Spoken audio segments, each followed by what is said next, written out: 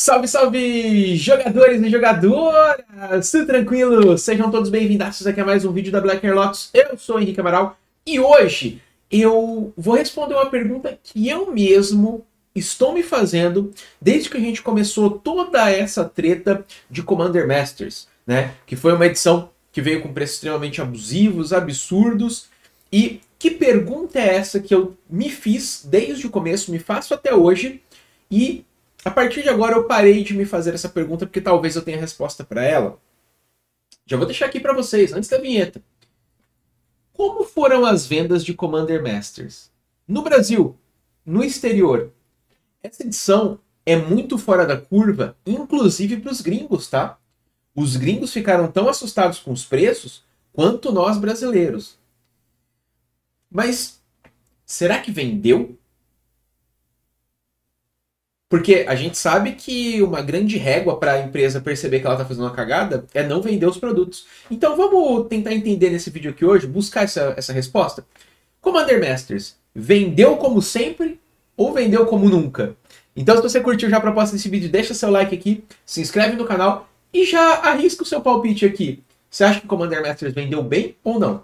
Comenta agora aí pra gente ter uma ideia do que todo mundo tá achando a respeito das vendas de Commander Masters. Lógico, você pode ter contato com a sua loja local também, então seu feedback é legal aqui, belezinha?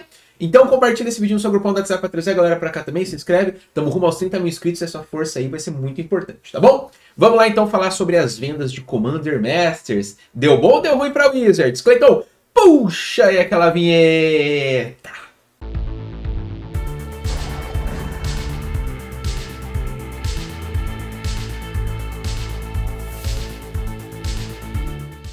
Só lembrando vocês que este videozinho aqui está sendo patrocinado pela Liga Magic, o maior marketplace que nós temos aí para cartas, produtos selados e acessórios de Magic, inclusive para você dibrar preços altos, né? Tá querendo comprar cartinhas de Commander Masters ou de outras edições e quer gastar o mínimo possível? Vai na Liga. Lá na Liga tem várias lojas do Brasil inteiro. Você vai conseguir encontrar o melhor preço do Brasilzão e, quiçá, um frete mais próximo de você também para economizar no frete ou para fazer chegar mais rápido aí para você. Bom, a Liga Magic, ela também faz um sorteio mensal para todos os seus consumidores. A cada 100 reais em compras, você ganha um cupom e esse cupom vai te dar acesso a participar do sorteio mensal da Liga. Esse mês a Liga está sorteando até 40 bundles de Wilds of Eldraine. E usando o código BLACKERLOTS na hora da sua compra, você dobra seus cupons, aumentando as chances de faturar esse sorteio maneiro. Então, aproveita esse código aí para te dar mais sorte e também para fortalecer cada vez mais a parceria da Black Air Lotus Liga. Liga, obrigado por patrocinar este vídeo e agora vamos lá falar sobre as vendas de Commander Masters. Estou aqui na rede social da Discord, que é o Twitter, que por mais que o, o bilionário tente mudar o nome, a gente vai continuar chamando de Twitter. e aqui tem um, tem um ponto bem interessante, não sei se vocês conhecem, um dos maiores influencers criadores de conteúdo que nós temos na gringa é o Saffron Olive. Ele é um ali do fundador, cofundador, enfim, e do MTG Goldfish, que é uma das plataformas assim mais famosas que tem lá na gringa, né? E ele postou no Twitter o seguinte, né? Eu ouvi de algumas pessoas que Commander Masters foi mais ou menos um desastre para as lojas locais, vendendo a preço de custo ou não vender, é, e não vendendo bem. Curiosamente, se isso aconteceu é, no mundo todo ou só em alguns é, pequenos locais, em nichos, né? Alguém aí, ou algum vendedor, ou uma LGS, né, que é a, a, as lojas e tal, uh, poderiam passar uma informação sobre isso?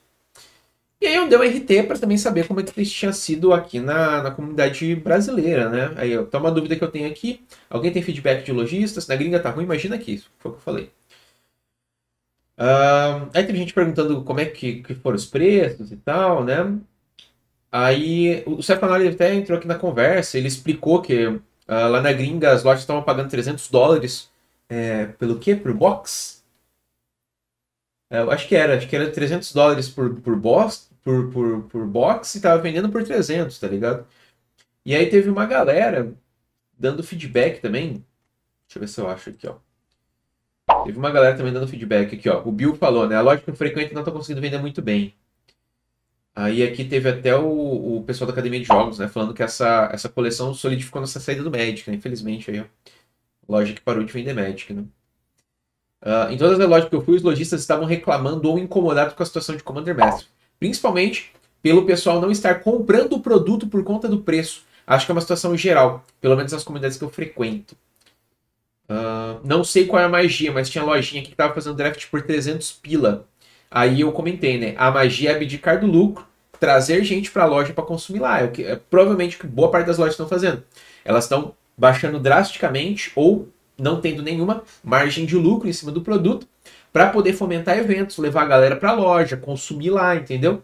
Então, geralmente as lojas organizam eventos, é, muitas vezes com a margem de lucro um pouco abaixo do que se eles forem vender aqueles boosters e tal, para que as pessoas vão na loja, consumam lá, né? E é bom para a loja isso, né? E pelo jeito, essa, essa edição aqui, eles estão tendo que jogar margem de lucro para zero para poder desencalhar esse produto e trazer a galera na loja, né, para consumir e tal. E assim, o que o que está aparecendo é que a maioria das lojas estão tendo que abrir esses produtos para vender singles, né? É o que parece que está rolando, né? E aí cai naquela. Muitas vezes não é tão interessante assim abrir. Pra... Bom, para a loja é porque ela vai pegar no preço de custo, né? Vai abrir, vai vender singles, vai ter um lucrinho. Mas mesmo assim, né? É complicado. Muitas vezes a loja quer já ter um lucro em cima dos produtos selados vendidos e depois, com o tempo, que a gente sabe que single você não vende tudo de uma vez e recupera a grana, né? Vai ficar em estoque, vai levar um tempo para a galera comprar tudo e dinheiro parado é ruim, né, para o comerciante. E singles é um significado aí de dinheiro parado, né? Então a gente teve essa situação. Vamos até ver aqui o, o tweet original do Saffron Olive. Uh, também curioso pela razão. Essa edição não é boa o suficiente. Uh, as pessoas estão é, mais é, focadas no, na popularidade de Senhor dos Anéis. Alguma coisa a mais? Eu quero ver se alguém fala sobre o preço. É, Senhor dos Anéis e Commander são ambos caros e foram lançados em um curto período de tempo. Então, é, não, eu acho que assim, não tem como Commander Masters disputar com o Senhor dos Anéis. O Senhor dos Anéis é uma franquia muito forte. A treta lá do Anel que fez um monte de gente que não é do meio do Magic abrir booster em busca do Anel, né? Encareceu um pouco as singles, faltou produto selado. E a galera focou em Senhor dos Anéis, né? E aí teve, né? Tem cara, o cara falando aqui que é, o Commander não é tão popular quanto as pessoas pensam. É, amigão, não queria falar nada não, mas é, ele é assim. ele é assim. Uh, se a gente for ver os últimos Commander Masters e edições de Commander que teve, foram um sucesso, cara. É, vendeu como água. Uh, aqui o cara fala, conversando com a LGS ontem, um, um dono, né, proprietário, é, vendendo as boxes por 240 dólares. E o, o falou que, que, era, que elas pegavam por 300, né? Oferecendo um desconto de 220, se quisesse, mas as boxes completas na Amazon estão por 170. É, aí complica também, tem esse rolê da, da Amazon na gringa, que a gente não tem aqui no Brasil, né? Bom, então a gente tem aí fortes evidências de que Commander Masters pode ter sido um tiro no pé. E por duas frentes de problema da Wizards. Primeira, encarecendo o próprio produto para o consumidor final. Isso afasta muita gente de comprar os produtos. Encalha nas lojas. E aí você deve estar falando, ah, Henrique, mas a Wizard já vendeu para as lojas, já faturou a grana deles. Aí que está o problema. Nas próximas edições, as lojas provavelmente vão começar a pegar menos produtos. Comprar menos da Wizards. Para não ficar com o produto encalhado de novo. E aí o Wizards vai começar a sentir, ou Wizards, Hasbro, enfim, vai começar a sentir no bolso. E o outro problema que a gente tem aqui também é o lançamento excessivo de coleções. Acabou de sair Senhor dos Anéis, uma edição que veio cara e que tem um, um apelo muito forte, tanto para nossa própria comunidade quanto para a galera de fora. Todo mundo gastou suas economias em Senhor dos Anéis. Logo depois vem Commander Masters. Não sobrou grana. Né? A galera segue o baile. A gente ainda tá numa época aqui no Brasil que a gente pegou bem o final das férias de julho, cara. Vocês perceberam isso? Então, assim, os adultos que consomem Magic provavelmente gastaram muita grana em julho, né? Muitas vezes teve que ficar cuidando do filho, pagou uma babá, mandou o filho para alguma para algum lugar, uh, viajou para praia para aproveitar as férias, né? Então, mês de julho é um mês que as famílias gastam muito dinheiro, né? É um mês muito atípico para quem tem filho e tudo mais. Então, no Brasil, isso pode ser um grande problema também. Eu não sei como é que é lá na gringa, quando, quando que bate as férias ali de meio de ano e tal. Mas no Brasil ainda tem esse agravante, né? Mas, no geral, a gente tem essas duas linhas problemáticas. Lançamento excessivo dando problema e a, a edição com preço final muito alto para o consumidor. Então, esses são os dois pontos que a Wizards precisa revisitar o mais rápido possível, né? O Banco da América já tinha falado lá para Hasbro, para de lançar as coisas com tanta intensidade que vocês vão ter problema no futuro. Eles estão começando a criar esse problema agora. Desde o ano passado eu estou falando sobre isso, que vários produtos que chegam em lojas eles encalham. A gente já teve a, a, a Amazon, Walmart, essas empresas aí que vendem os produtos nas gôndolas e tal, ficando com produtos encalhados lá nos Estados Unidos, nas suas lojas. E isso está começando a acontecer cada vez mais, né? Então, eu torço para que eles revisitem logo essas políticas de lançamento louco e que eles voltem a fazer como era antigamente, lá para 2017, 2018, que tinha um fluxo bem legal de lançamentos, né? Eu, eu sei que muita gente reclama do Universes Beyond, mas eu acho uma ideia fantástica. E eu acho que poderia ter talvez um ou dois por ano. E um por ano já estava ótimo, né?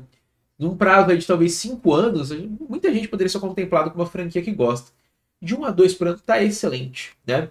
Aí lança as edições a cada três meses ali. Uh, remastered, eu, eu não sei se era necessário fazer tantos remasters assim que nem a gente vê, né? Uh, mas não sei. É, a, a, Wizard podia dar uma, uma maneirada aí, e com mais calma, né? Que eu acho que com certeza todo mundo poderia comprar as edições numa boa, com mais calma, teria mais tempo para respirar, para a carteira, né? A conta bancária dar uma respirada. Mas é isso, galera. Aparentemente, as vendas de Commander Masters não estão indo tão bem. Um produto que fez tanto estardalhaço saiu tão caro para no fim não vender muita coisa, aparentemente pelas evidências que nós temos. Mas deixe seu feedback aqui nos comentários. Como foi na sua loja local? Vendeu bem, vendeu mal? O lojista está tendo dificuldade para passar esse produto para os consumidores? Dá seu feedback aqui. Se você que está assistindo for uma loja também, seria muito legal você comentar aqui para dar o seu feedback. Seria bem maneiro. Tá bom? Então, galera, deixa o like, se inscreve, dar o sininho, compartilha no seu grupo do WhatsApp para trazer a galera para cá, que estamos rumo aos 30 mil inscritos. E lembrando que a Black Air é mantida por um projeto de financiamento coletivo no Catarse. Se você quiser dar uma olhadinha, escaneie esse QR Code aqui ou clica no link aqui na descrição para você acessar o nosso Catarse e ver lá como é que funciona. Tem várias metas ali que a gente tenta bater para trazer novos conteúdos para cá. Além de que se você apoiar a gente por lá, você tem acesso ao grupo do WhatsApp, que eu fico o dia inteiro trocando ideia com a galera. Pode jogar mesões de Commander comigo e ter várias outras recompensas bem legais que é exclusiva para quem apoia a gente lá no Catarse, tá bom? Dá uma olhadinha lá, quem sabe você não se torna um membro apoiador da Black Lots e vem fazer parte do nosso grupo seleto. Então é isso, galera, ficando por aqui. Um forte abraço a todos, até a próxima. E Black Lotus desligando!